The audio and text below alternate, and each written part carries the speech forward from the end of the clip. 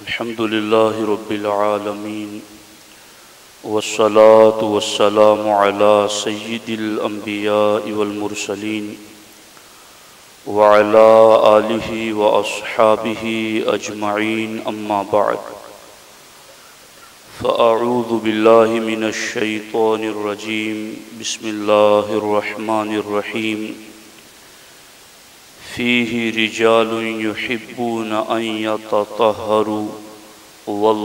युहिब्बुल मुत्तहिरीन सदक़ल्लाहुल अलीयुल अज़ीम व सदक़ रसूलुहुन नबियुल अमीनुल मुख्तारुल करीमुर रऊफ़ुर रहीम इंतहाई अदब व एहतराम के साथ हुजूर सय्यिदुल मुरसलीन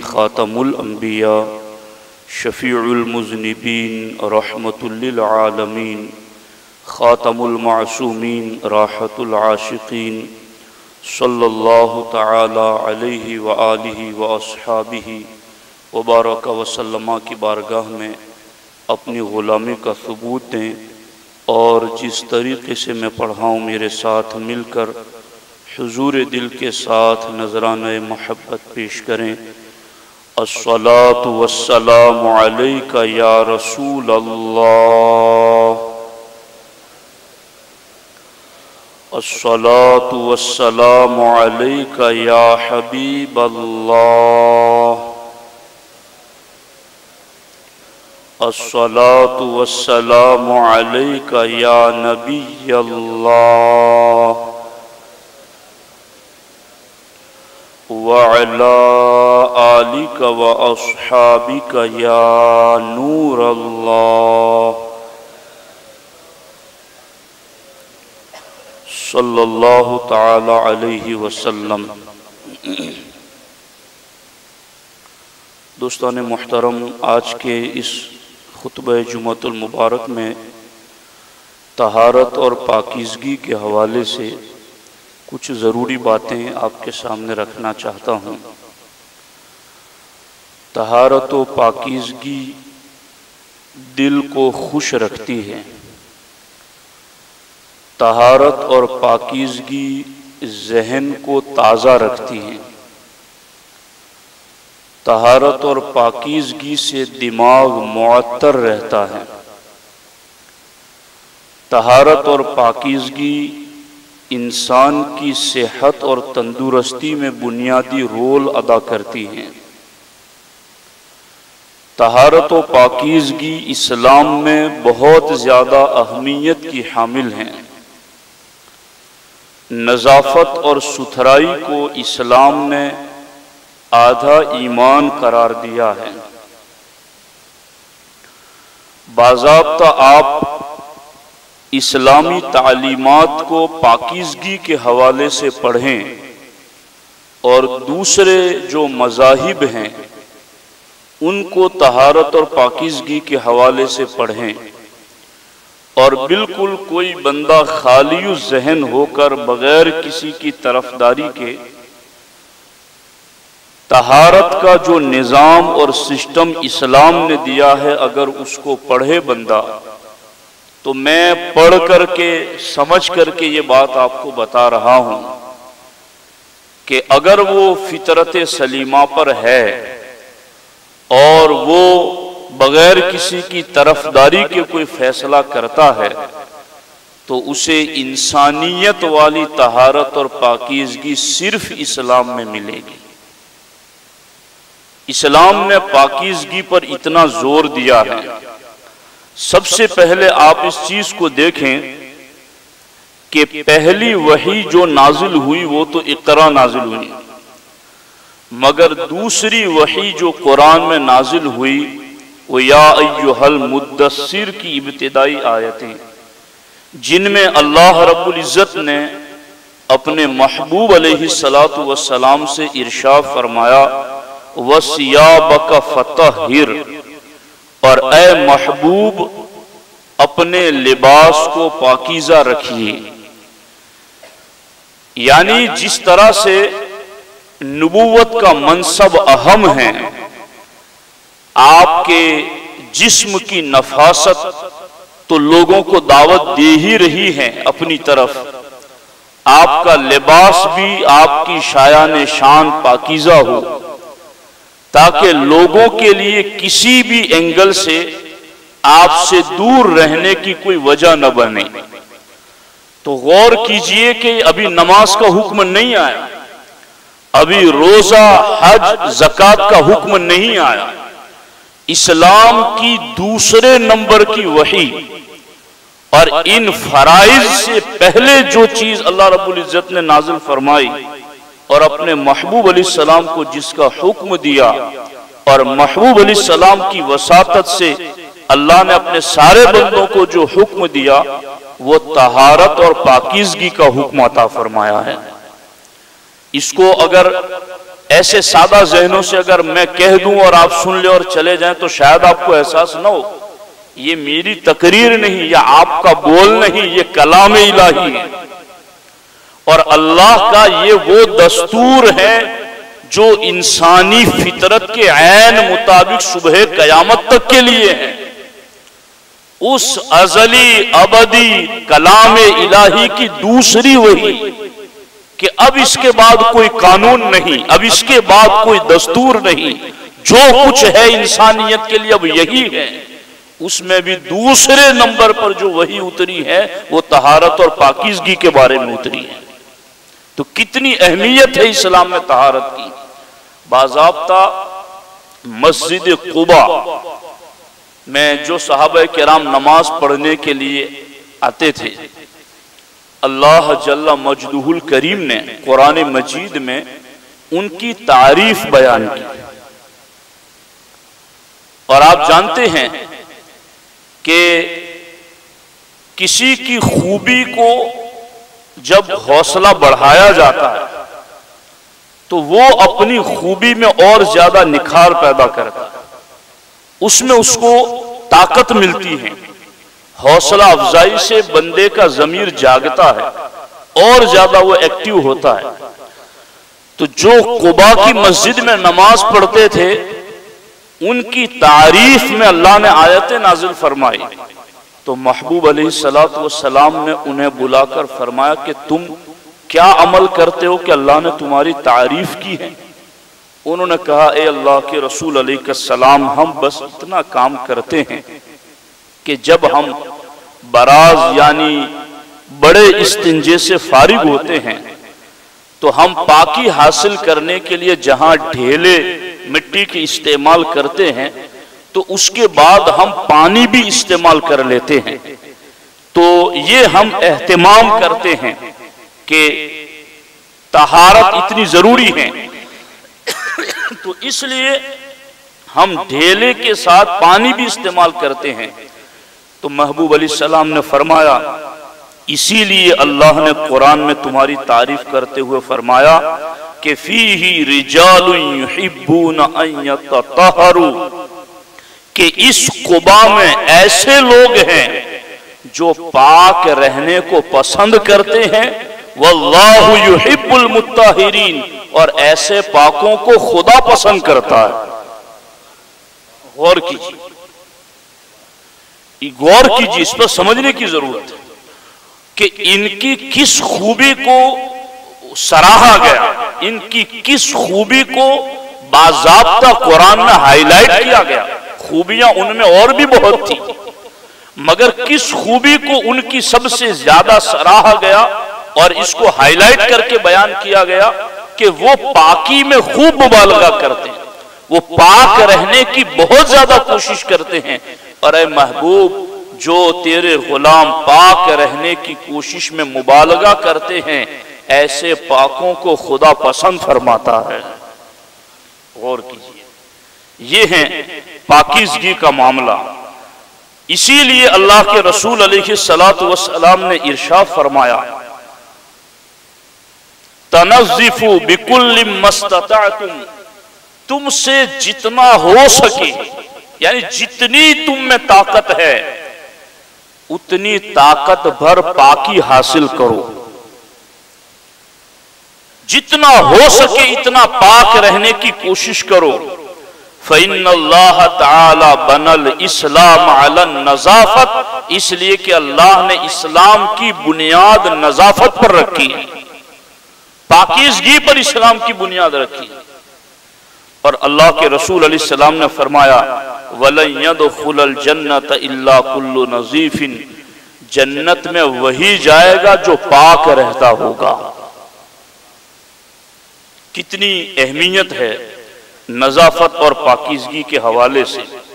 अब इसका एक मुख्तसर जायजा आप देख लें इस्लाम का दूसरा अहम रुकन नमाज़ है। और उसकी अदायगी के लिए, यानी नमाज़ की अदायगी के लिए जिस्म, कपड़े और जगह का पाक होना शर्त है। जगह भी पाक हो, जिस्म भी पाक हो, लिबास भी पाक हो। तो ये तीनों चीज़ें पाकी के हवाले से। जिस्म पाक, लिबास पाक और जगह पाक, तीनों। और वो नमाज़ पढ़नी कितनी है दिन में? पाँच मरतबा पढ़नी। और पाँच मरतबा कम अज कम इतना पाक रहना उसको शरी तौर पर पाबंद किया गया। अब इतना वो पाक रहा। अब आगे इस्लाम ने और कहा, वज़ू है तुम्हारा? कहा है वज़ू?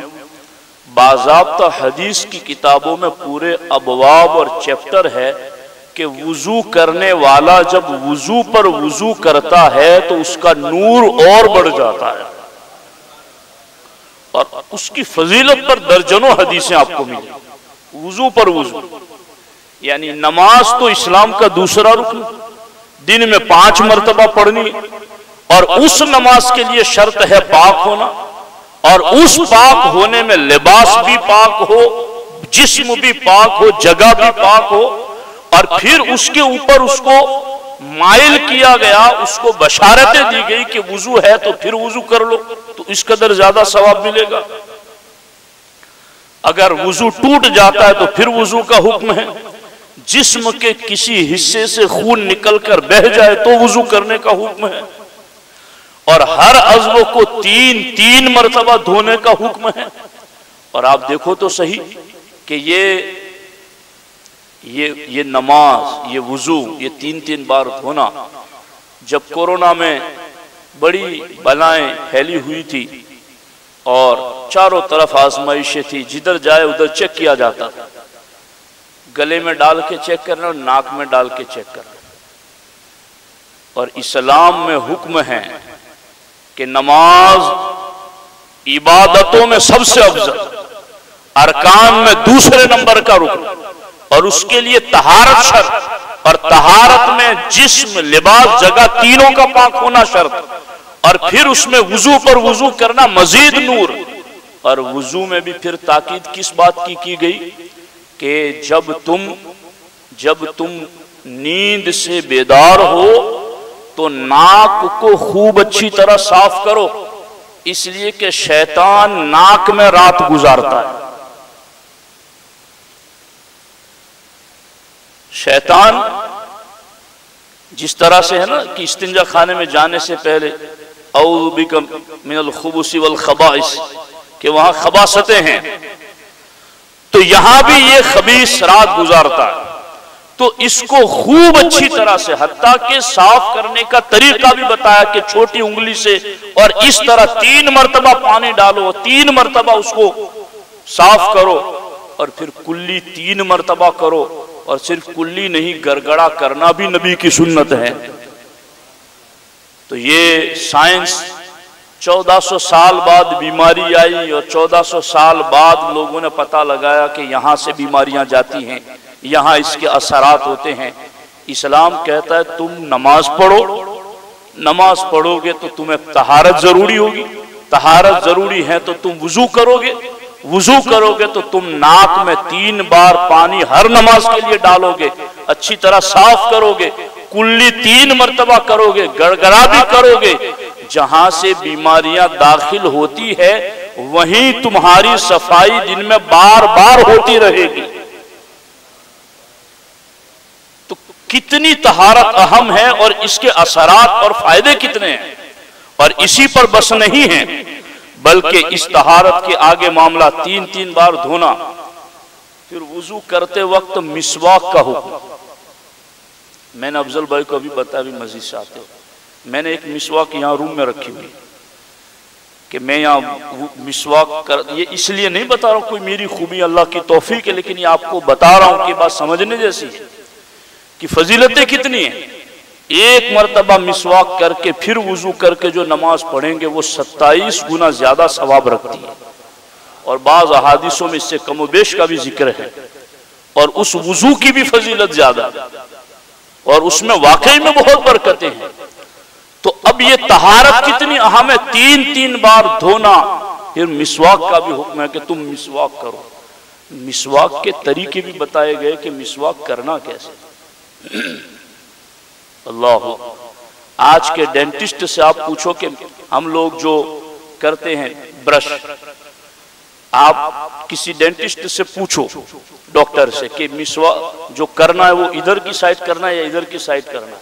और फिर इस्लाम का नज़रिया पढ़ो तो आपको पता चलेगा कि ये ये तालीमत, ये तरबियत, ये नजाफत में इस्लाम कितना आगे है।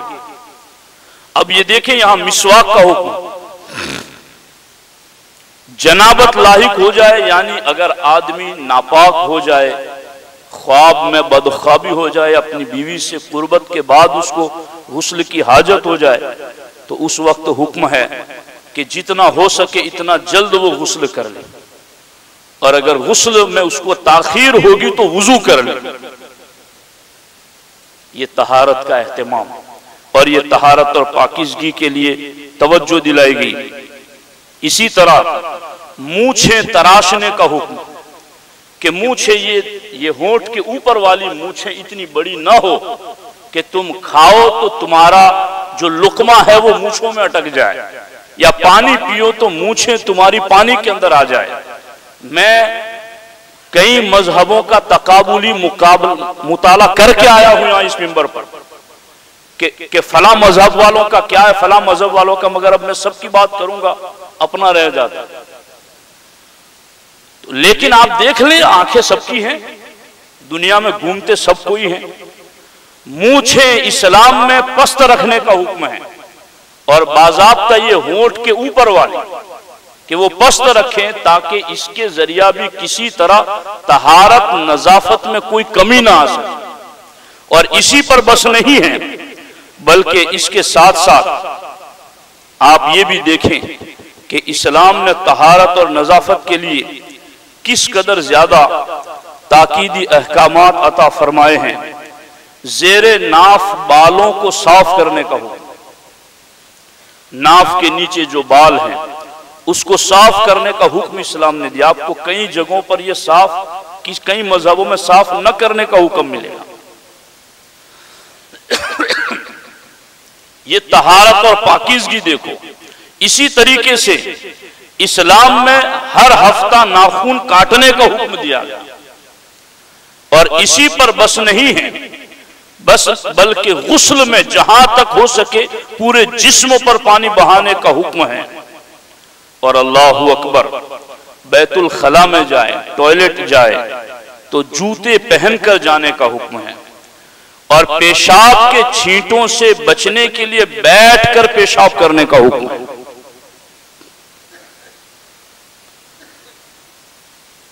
इस तरीके से आप इस्लाम की पूरी तालीमात को पढ़ेंगे तो आपको इस बात का एहसास होगा कि इस्लाम मुकम्मल तहारत और तहारत ही की तालीम देता है। इसीलिए सरकार ने फरमाया कि इस्लाम की बुनियाद तहारत पर है और दूसरे नंबर की कुरान में वही तहारत के हवाले से उतरी है। और जिन सहाबा ने तहारत में एहतमाम किया, रब ने उनकी तारीफ़ की कि मेरे महबूब, ये तेरे गुलाम मुझे बहुत पसंद है।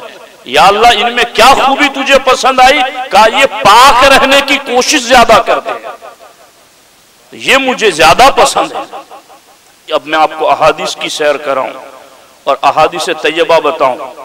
अल्लाह के रसूल सल्लल्लाहु अलैहि वसल्लम ने फरमाया, अतहूर शतरुल ईमान।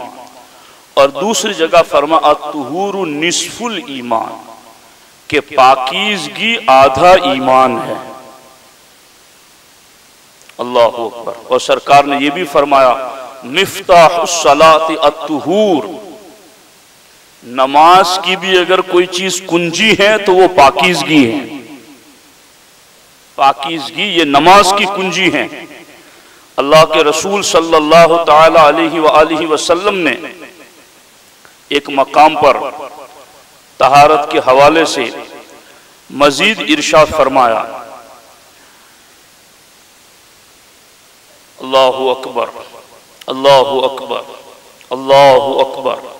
मन आवा इला फिराश ही ताहिरन, कि जो शख्स अपने बिस्तर पर हालत तहारत में आया, बावजू सोने के लिए बिस्तर की तरफ़ आया यदुल्लास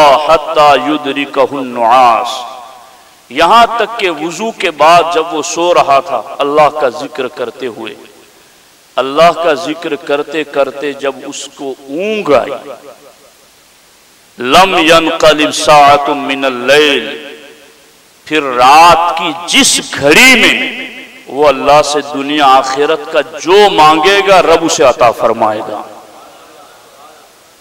और ये तहारत का कमाल है कि बंदा तहारत के साथ सोए। और इस सिलसिले में अल्लाह के रसूल सलाम ने एक हदीस पाक में ये भी फरमाया कि जो शख्स वज़ू करके, यानी हालत मन बात ताहिरन, जो हालत तहारत में सोया। अल्लाह रब्बुल इज़्ज़त उसके लिहाफ में उसके साथ एक फरिश्ता मुकर्र कर देता है, जो पूरी रात क्या कहता है? अल्लाह फिर अब्दी का फुलान फ़िन बात ताहिरा अल्लाह, तेरे इस बंदे को बख्श दे, ये पाक हो के सोया है। पाक हो गया सोया रात भर वो फिरिश्ता उसके लिए दुआएँ करता रहता है कि ये पाक होकर सोया है। अल्लाह के रसूल सल्लल्लाहु अलैहि वसल्लम ने इस सिलसिले में मजीद इर्शादात भी अता फरमाए हैं। तो अब हमें करना क्या है? पाकिजा रहने की कोशिश करो, पाक रहो। जो बंदा नापाक घूमता रहता है, ज़मीन उसके लिए बदुआ करती है।